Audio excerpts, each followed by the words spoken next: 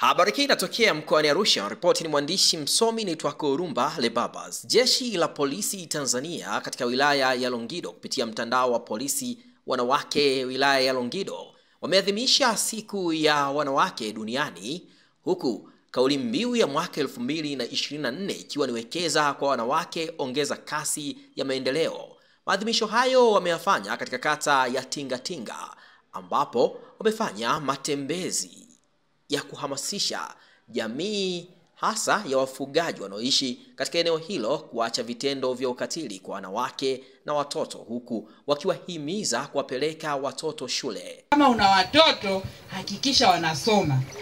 Yaani sio serikali kulazimisha, serikali imeshatengeneza mazingira mazuri kwa ajili ya watoto kusoma. Tusikubali watoto wetu kukeketwa. Zama za ukeketaji zimepita, si nimewasema kila zama na nyakati zake eh.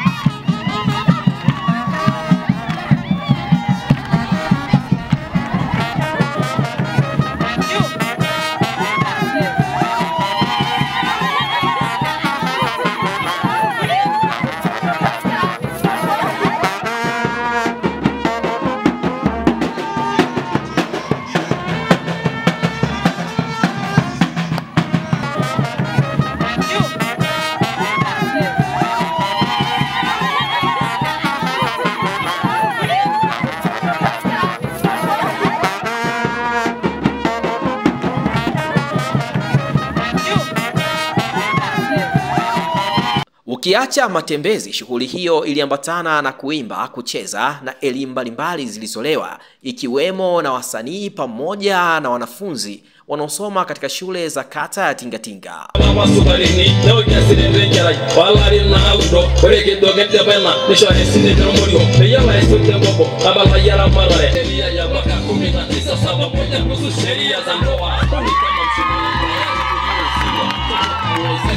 ndoto zake unazima mtoto kamzaa mtoto majukumu kukanyaga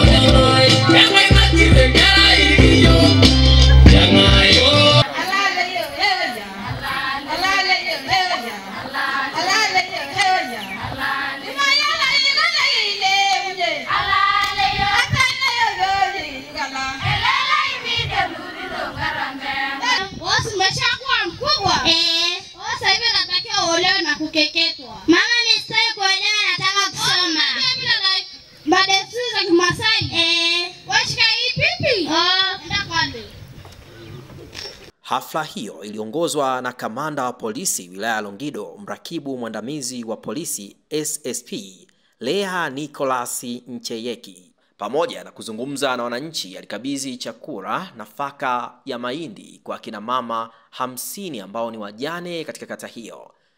Tinga oye! Leo ni siku ya mama, sio tu nyumbani, ni siku ya mama duniani kote, siku ya wanawake duniani kote. Kila mwanamke leo ni siku yake. Tunayo tunayo furaha kubwa na ndio maana unatuona tunafurahi kila wakati, kwa sababu ni siku pekee ambayo wakina mama kote duniani wanasherekea. Lakini pia kila mwanaume aliyeko chini ya mbingu amezaliwa na nani? Na mwanamke. Wanaume oye! Wanaume oye! Hakuna mwanamume ambaye hakuzaliwa na mwanamke. Kwa hiyo hongereni sana wakina baba kwa kuzaliwa na mwanamke.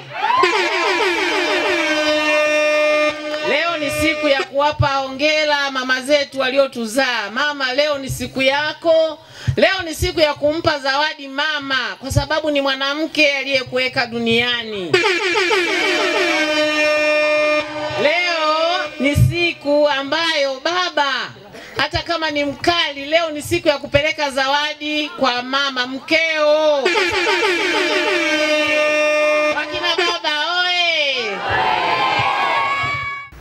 Mheshimiwa mgeni rasmi, tunayo maombi. Tunaomba wadau mbalimbali na viongozi wetu wa dini na serikali, hususan walimu ambao ndio walezi wa watoto wakiwa mashuleni, viongozi wa mila, najua yuko hapa, lakini pia shehe, mwinjilisti, kwa maana ya viongozi wa dini na wa kimila, viongozi wa chama, kila mmoja kwa nafasi yake, basi watusaidie wenyewe ni wadau wetu muhimu sana. Tunaomba mtusaidie katika nyumba za, za ibada kupaza sauti tunapokutana kwenye vikao maraigwanani, tupaze sauti ili kuhakikisha haki ya mtoto haki ya mtoto inapatikana, haki za wanawake zinapatikana, lakini pia tusiogope kuwaeleza madhara, tuwaambie madhara.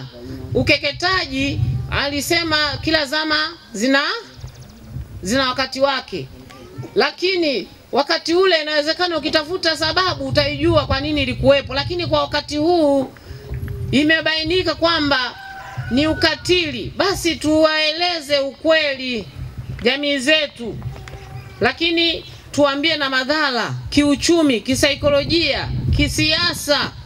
Ina maana kwa mfano watoto wasipoenda shule, si rahisi kuwa na ujasiri wa kusimama majukwaani, kwa sababu atashindwa kupigania soko la ajira la dunia linalohitaji wasomi waliosoma mambo ya sayansi na teknolojia. Tuuseme ili tuwahamasishe hawa watoto ambao ni kizazi cha baadaye kiweze kuwa kuandaliwa, kwa maana kwamba kiingie kwenye soko la ajira kwa wakati unaofaa. Viongozi wa serikali, NGOs, wenye mapenzi mema, watendaji, viongozi ngazi zote, kuanzia ngazi ya chini, tunaomba kushirikiana na nyinyi, make mi wanasema nyinyi ni wadau muhimu. Huwa tunaomba ubia, tunaomba ubia wa kushirikiana kutatua changamoto hizi katika jamii zetu, ili tukipaza sauti kwa pamoja, tukawa tuna mia mamoja, tutaweza kuleta mstakabali mzima ambao taifa pia lina linapambania. Naamini hata Mheshimiwa Rais wa nchi hii anapambana katika kuondoka na kuondokana na swala la ukatili wa kijinsia na ni hii ni baada ya kugundua kwamba ukatili wa kijinsia unadumaisha sana kwa habari ya uchumi. Kwa hiyo tuungane na Mheshimiwa Rais wa nchi yetu kupambana kuendeleza mapambano hayo ili kuona kwamba tunamkwamua mwanamke, lakini zaidi tunawakwamua watoto wetu kwa ajili ya kizazi kijacho. Baada ya kusema hayo, nikushukuru tena Mheshimiwa mgeni rasmi, nishukuru jukwaa hili niwashukuru wananchi wote. Tumewiwa kama dawati la jinsia na watoto, tumewiwa kama TPF net, nikiwa kama mwenyekiti na wapiganaji wenzangu, tumeona ni vyema siku ya leo tunapokuja kuwasalimia tusije mikono mitupu, na tumeona tuje kwa ajili ya wale wajane. Kwa leo tutakuwa na chakula cha wajane hamsini lakini huko wakati mwingine tena tutakuwa tumejipambanua, tunaweza tukaja kwa wakati mwingine. Kwa hiyo ikikupendeza, Mheshimiwa mgeni rasmi, kulingana na ratiba hii itakayokuwa inaendelea, ili tuweze kukabidhi chakula hiki, ili sasa baadaye uendelee na ratiba nyingine.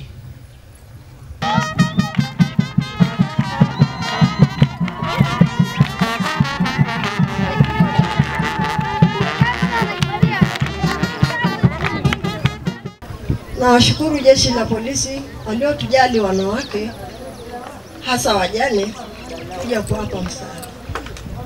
Mungu awaongezee na azidi kuwapa moyo, awalinde na hapo walipopunguza kwenye mfuko yao, Mungu awaongezee. Sina mengi ya kuongea, bali nawaombea Mungu mzidi kuwa na moyo wa huruma na moyo wa kuwakumbuka wanawake wengine unapokwenda Mungu awatangulie awafikishe salama. Basi mimi sina mengi, ila nashukuru kwa nafasi mlionipa. Nazidi kuongea na wamama wenzangu. Haya yote tunayoongea ni, ina, ni sisi wakina mama ndio tunaweza kuwakataa, kwa maana mtoto yuko karibu na mama kila muda. Yote tunayoambiwa tusiwe tunasikia tunampa ipite kwenye sikio. Tuwazingatie hayo yote tulioambiwa, tuwatendee tuwatendee watoto wetu mazingira mema. Mungu naye atazidi kutubariki na atazidi kutusaidia. Asanteni. Napenda kuishukuru jeshi la polisi kwa kunialika kuwa mgeni rasmi katika kilele cha maadhimisho haya muhimu ya kuadhimisha siku ya wanawake duniani. Tunasema siku hii ni siku muhimu kwetu sote kwa ujumla, kwa maana inatupa nafasi ya kutafakari nafasi yetu kama jamii katika kulinda, kuheshimu na kudhamini utu wa mwanamke. Kauli mbiu ya mwaka huu ni wekeza kwa mwanamke, kuharakisha maendeleo ya taifa na ustawi wa jamii. Ndugu wananchi wa wilaya ya Longido, hususan kata ya Tingatinga na wageni waalikwa, hapa ilivyoelezwa kwenye risala ya jeshi la polisi iliyowasilishwa kwetu na mwenyekiti wa TFNet ASP Lea Nicholas Jeyeki, sote tumesikia namna ambavyo jeshi la polisi linajipanga katika kuhakikisha kuwa ila kwa leo tulikuwa kwa hatua inayofuata, tulikuwa tumeandaa keki, tulikuwa tunaomba mgeni rasmi, mheshimiwa mgeni rasmi asogee pale ili akatuendeshee zoezi letu la kukata keki, kwa maana kwamba leo ni sherehe ya wanawake wote duniani. Tunakula keki kwa ishara ya upendo kwa kina mama wote duniani. Nikuombe tu mheshimiwa mgeni rasmi usogee pale kwenye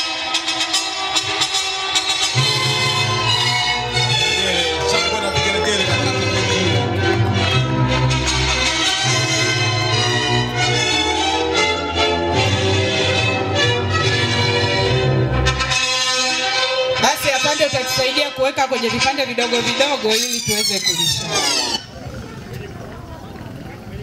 Santa, keki nzuri kabisa imebandikwa.